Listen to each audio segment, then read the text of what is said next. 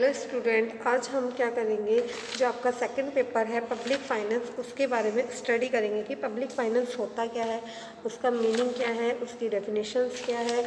आपका जो second paper है, उसमें आपके पब्लिक फाइनेंस में क्या क्या चीज़ें आएँगी, सबसे पहले मैं आपको ये बताना चाहूँगी, इसमें आपको मिलेगा meaning and scope of public finance क्या होता है public goods and private goods हमारे क्या होते हैं the principle of maximum socialisation मिलेगा कि अधिकतम सामाजिक लाभ का सिद्धांत क्या होता है? Concept classification and preparation of budget के बारे में आप इसमें पढ़ेंगे। सार्वजनिक आय के स्रोत एवं करारोपण के बारे में स्टडी करेंगे। आज जो हम स्टडी कर रहे हैं, इसमें सबसे पहला जो हमारा टॉपिक है, और भी अदर टॉपिक है, उनके बारे में स्टडी करेंगे। पब्लिक फाइनेंस आपका सेकंड पेपर है। इसमें भी आपके क्या है, पाँच ही यूनिट हैं और इसमें आपके थर्टी चैप्टर्स हैं। इसमें से कुछ इम्पोर्टेंट हैं, जिनको आपको बहुत अच्छी तरह से पढ़ना है और पेपर में उनके बारे में बहुत कुछ आएगा। तो आज जो हम पढ़ेंगे, वो पढ़ेंगे कि पब्लिक फाइनेंस होता क्या है। सबसे पहले देखते हैं इसका meaning it is concerned with the income and expenditure of public authorities it means public finance is study of the nature and principle of state expenditure and state revenue कि meaning of public finance क्या होता है? इसमें बताया गया है कि राजस्व क्या होता है? अर्थशास्त्र की वह शाखा है जिसका संबंध सार्वजनिक पदाधिकारियों के आय तथा व्यय के अध्ययन से होता है। इसमें हम क्या करेंगे? जो हमारे सोशल्स जो अथॉरिटीज़ होती हैं, उसमें हमारे रिवेन्यू कितने होते हैं, हमारे एक्सपेंडिचर कितने होते हैं, उन सब के बारे में हम क्या करेंगे? राजस्व में स्टडी करेंगे। कि पब्लिक फाइनेंस क्या होता है? इसमें कि रिवेन्यू जो होता है, प्राप्ति होती है कि एक गवर्नमेंट जो होती है गवर्नमेंट की कितनी इनकम होती है कैसे कैसे उसकी इनकम होती है और गवर्नमेंट क्या करती है कैसे कैसे कोई एक्सपेंडिचर करती है, उन सब के बारे में क्या करेंगे, आप इसमें स्टडी करेंगे। इसने बताया है कि सार्वजनिक प्राधिकारी शब्द से अभिप्राय सरकार के उन सभी विभागों से है जो देश के भीतर कार्य कर रहे हैं। आप लोगों को पता है कि हमारे यहाँ पे गवर्नमेंट होती है और गवर्नमेंट के क्या होते हैं? बहुत सारे डिपार्टमेंट होते हैं। उसमें क्या होता है, जैसे टैक्स डिपार्टमेंट होता है, आपका सेल्स डिपार्टमेंट होता है परचेज़ का अलग होता है तो अलग अलग टाइप से इसमें आपको बहुत सारे डिपार्टमेंट देखने के लिए मिलेंगे और गवर्नमेंट जो होती है, अपने द्वारा चलाए गए विभागों में क्या होती है वैकेंसी निकालती है, वहाँ पर कुछ फिर गवर्नमेंट एम्प्लॉयज़ की भी नियुक्ति की जाती है, जो देश के, जो पब्लिक सेक्टर में आते हैं हमारे। कुछ प्राइवेट सेक्टर भी होते हैं। प्राइवेट सेक्टर वो सेक्टर होते हैं जिसमें क्या होता है, जल्दी से गवर्नमेंट का क्या होता है, हस्तक्षेप कम होता है। और वो क्या होता है, किसी प्राइवेट कंपनी या किसी बड़े बिजनेसमैन के द्वारा वो सेक्टर्स चलाए जाते हैं। भारतीय संघीय संरचना के संदर्भ में सार्वजनिक पदाधिकारियों से अभिप्राय सरकार के तीन विभाजनों से है। कितने हैं? गवर्नमेंट के तीन विभाजन होते हैं। आपको पता है गवर्नमेंट क्या होती है? तीन उसमें भागों में बटी होती है, एक तो सेंट्रल गवर्नमेंट होती है आपकी, एक आपकी स्टेट गवर्नमेंट होती है, एक आपकी लोकल गवर्नमेंट होती है। केंद्र में केंद्रीय सरकार, केंद्र में क्या होता है? केंद्रीय सरकार विभिन्न राज्यों में राज्य सरकारें होती हैं और स्थानीय सरकारें जैसे पंचायत समिति होती है, स्थानीय स्तर पर नगर पालिका आदि मिलते हैं। राजस्व सरकार के इन सभी विभागों की वित्तीय क्रियाओं का क्या करते हैं? अध्ययन करते हैं। जो राजस्व होता है, वो क्या करता है? गवर्नमेंट की जो ये सारी एक्टिविटीज़ होती हैं, उन सब के बारे में क्या करता है? स्टडी करता है कि लोकल गवर्नमेंट कैसे काम कर रही है। स्टेट पे जो स्टेट लेवल है, उस पर गवर्नमेंट कैसे काम कर रही है। ठीक है, पंचायत समिति है जो वहाँ पर कार्य कैसे हो रहा है तो इन सब के बारे में क्या की जाती है? स्टडी की जाती है।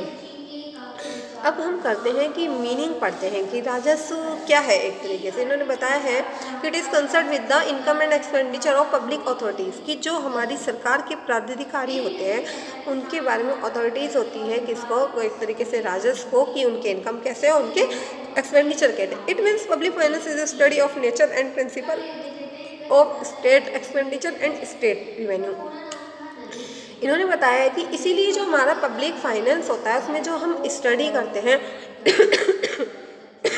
वो किसकी करते हैं? Nature and principle of state expenditure and state revenue की। अब देखते हैं कि मीनिंग क्या है? संस्कृत शब्द राजस्व दो अक्षरों से मिलकर बना है। राजन प्लस स्व से मिलकर बना है, जिसका अर्थ होता है राजा का धन। ठीक है राजस्व जो है, हमारा पब्लिक फाइनेंस जो है संस्कृत के शब्द, दो शब्दों से मिलकर बना है राजस्व राजा प्लस स्व राजन प्लस स्व इसकी जो है हम संधि विच्छेद करेंगे, जिसमें राजन का अर्थ होता है, राजा का अर्थ राजनीतिक दृष्टिकोण से राजा को समाज और क्षेत्र विशेष का मुखिया कहा जाता है। जो हमारा राजा होता है, उसे क्या कहते हैं हम? समाज तथा क्षेत्र विशेष का क्या कहते हैं? मुखिया कहते हैं। इस प्रकार सरल शब्दों में राजस्व का अर्थ क्या होता है? राजा के धन या राजनीतिक दृष्टिकोण से मुखिया के धन से होता है। अतः इस शास्त्र के अंतर्गत हम राजा के धन का अध्ययन करते हैं। इसमें क्या करते हैं? हम स्टडी करते हैं किसमें राजा के धन का। अब देखो, पहले क्या होते थे? हम आपको पता है कि राजा होते थे किंग होते थे, वो क्या होते थे? अपने पास बहुत सारा पैसा रखते थे, उनके पास बहुत ज़्यादा क्या होता था? धन होता था। उसी के कारण क्या होता था? उनके राज्य चलते थे पूरे के पूरे। अब ऐसे ही जो राजा है, उसकी जगह क्या होगी? है सरकार ने ले लिया। राजा की जगह पे क्या होता है? सरकार कार्य करती है। सरकार देखती है कि हमें जिस राज्य में जैसी सरकार होगी, वहाँ पे उस राज्य की सरकार उसके कार्य को देखेगी कि यहाँ पे मुझे कैसे काम करना है, कैसे नहीं करना है, किस तरह से कोई काम होगा और कैसे नहीं होगा। इस अतः इस शास्त्र के अंतर्गत हम राजा के धन का अध्ययन करते हैं, अर्थात यह अध्ययन करते हैं कि राजा का धन कहाँ से और किस प्रकार लाता है और व्यय करता है। इसमें क्या करेंगे कि राजा जो है अपना धन कहाँ से लाता है। तो ऐसे ही क्या होता है, हमारी गवर्नमेंट आ गई है उस राजा की जगह। तो हम देखते हैं कि गवर्नमेंट जो होती है, अपनी इनकम कहाँ कहाँ से गेन करती है और कैसे कैसे उसको एक्सपेंडिचर करती है, उस सब के बारे में हम क्या करेंगे पब्लिक एक्सपेंडिचर में स्टडी करेंगे। अब वो बात आती है हमारे पब्लिक फाइनेंस की उस राजस्व की तो बात होगी कि पब्लिक फाइनेंस क्या होता है। पब्लिक फाइनेंस को जो है हम हिंदी में कहते हैं पब्लिक मतलब सार्वजनिक वित्त के नाम से भी इसको हम जानते हैं। क्या कि सार्वजनिक वित्त? सार्वजनिक वित्त मतलब क्या होता है? जनता का धन एक तरीके से, जिसे हम कह सकते हैं, उसको हम क्या कहते हैं पब्लिक फाइनेंस की संज्ञा देते हैं। किंतु हम राजस्व शास्त्र के अंतर्गत जनता के वित्त का अध्ययन नहीं करते, बल्कि जनता का प्रतिनिधित्व करने वाली संस्थाओं। हम क्या करते हैं इसमें? जनता के वित्त का अध्ययन नहीं करते, बल्कि जनता का जो प्रतिनिधित्व करती है, जो उन्हें प्रजेंट करती हैं, उन सब चीज़ों के बारे में स्टडी करते हैं। करने वाली संस्थाओं, जैसे कि कौन सी होगी? राज्य या राज्य सरकार हो सकती है, ठीक है? वित्तीय व्यवस्थाओं का अध्ययन करते हैं कि गवर्नमेंट जो है वो कैसे कैसे अपना जो है फाइनेंस का मैनेजमेंट कर रही है, उन सब के बारे में हम क्या करते हैं, इसमें स्टडी करते हैं।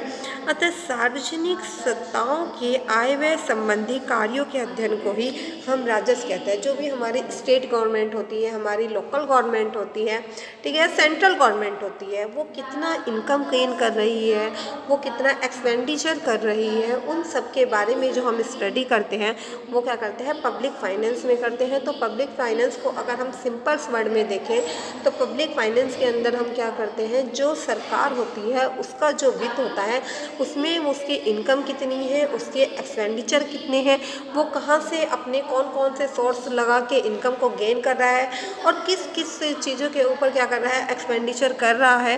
उन सब के बारे में क्या करती है? स्टडी की जाती है। तो पब्लिक फाइनेंस क्या है? ये आपके लिए वैसे भी एक न्यू है, क्योंकि आपने थोड़ा सा जो है फ़र्स्ट ईयर में ये नेशनल इनकम वगैरह तो पढ़ी भी है, पर ये बिल्कुल नहीं पढ़ा। और ये आप लोगों के जो कॉम्पिटिशन्स जो होते हैं, उसमें भी पब्लिक फाइनेंस से बहुत ज़्यादा क्वेश्चन पूछे जाते हैं। यदि कोई आप रेलवे की तैयारी कर रहे हो, किसी भी चीज़ की कर रहे हो तो पब्लिक फाइनेंस का कुछ पार्ट उसमें आता है, जैसे टैक्सेशन होगा। कुछ और भी है इसमें कि डबल टैक्स क्या होता है सिंगल टैक्स क्या होता है। ठीक है टैक्स का बर्डन किस पे ज़्यादा पड़ता है, कैसे नहीं पड़ता है, ठीक है सिस्टमेटिक टैक्स कैसे होता है इन सब के बारे में क्या करोगे? आप पब्लिक फाइनेंस में स्टडी करोगे। तो राजस्व को हम यही कह सकते हैं कि राजस्व क्या है?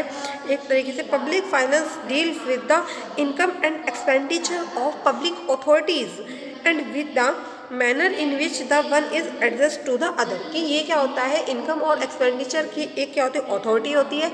और इसमें यह देखा जाता है कि यह क्या होता है? एक दूसरे के साथ क्या होता है? एडजस्ट कैसे करता है? कैसे क्या करता है? Concerned with the income and expenditure of public authorities करता है।